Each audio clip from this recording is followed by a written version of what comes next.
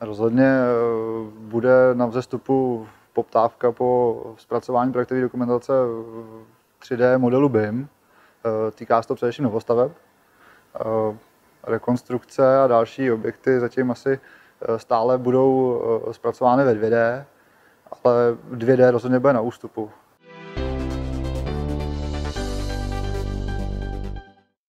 Do budoucna si myslím, že BIM bude podstatě jediný, jediná možnost, jak projektovat novostavby, jak menšího, tak většího rozsahu. U větších staveb už je to nutnost teď, u menších eh, to bude v budoucnosti taky potřeba.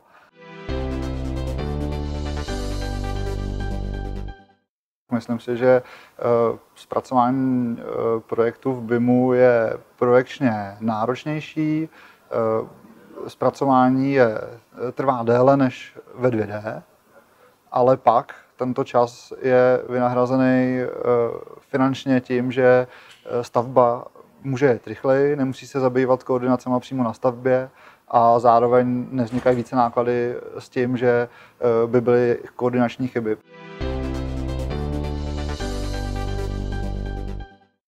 Rodiny Vavin už jsou poměrně odladěný uživateli tudíž eh, například eh, excentrické redukce už fungují tak, jak mají, prostě dále navazování kolen, například na kanalizaci, kdy můžeme nahrazovat 90 stupňová kolena dvěma 45 stupňovými. To jsou takové věci, které používáme poměrně často a rodiny od Vavinu už tyhle věci umí takřka jedním kliknutím, což je samozřejmě pro projektanty docela zjednodušení práce.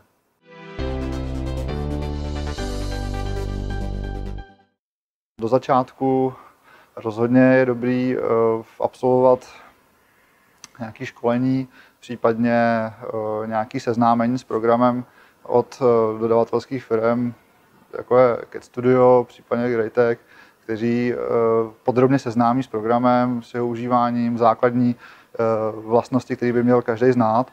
A poté eh, se každý může rozhodnout, jestli pro něj je modelování 3D jednodušší a praktičtější než kreslení 2D a na té bázi se rozhodnout, jestli do modelování by mu půjde nebo ne.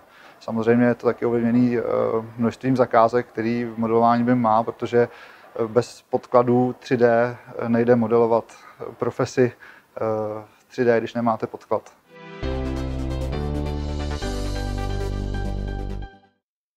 Tak přímo jako úspora pro projekční kancelář eh, zatím není, dokud se budou výkresy eh, vydávat v tištěné formě. Ve chvíli, kdy bychom chtěli využít kompletní model BIM při stavbě, tak samozřejmě bylo ideální přejít na nějaké eh, tablety nebo prostě přenosné zařízení, který dokáže eh, na stavbě promítnout model BIM a firma může realizovat stavbu přímo podle modelu. Tudíž by odpadlo zdlouhavý a zároveň nákladný vydávání dokumentace na papír ve 2D, kdy vlastně 3D model převedeme do 2D zobrazení, což vlastně si myslím, že není smysl modelování v BIMu.